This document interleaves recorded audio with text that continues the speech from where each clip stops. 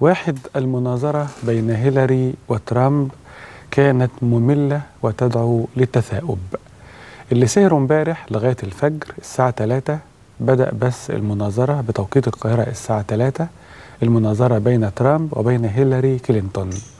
طبعا إبهار في الشكل إبهار في التصوير إبهار في المخرجات النهائية لهذه المناظرة لكن الحقيقة المناظرة كانت مملة للغاية. نفس الكلام اللي اتقال بيتعاد ونفس الاتهامات اللي سمعناها كتير سمعناها مرة تانية. والحقيقة أي حد كان يشوف المناظرة ممكن يتثاءب كتير نتيجة الملل. ورغم أن الإعلام الأمريكي اتكلم أنها أخطر مناظرة في التاريخ وأعلى مشاهدة على الإطلاق وكل ده إلا أنها في الواقع كانت مملة للغاية وتدعو للتثاؤب ولا جديد فيها.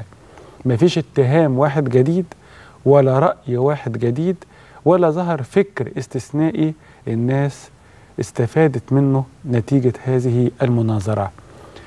والناس خرجوا من المناظرة زي مواقفهم السابقة اللي مع ترامب مع ترامب واللي مع هيلاري مع هيلاري.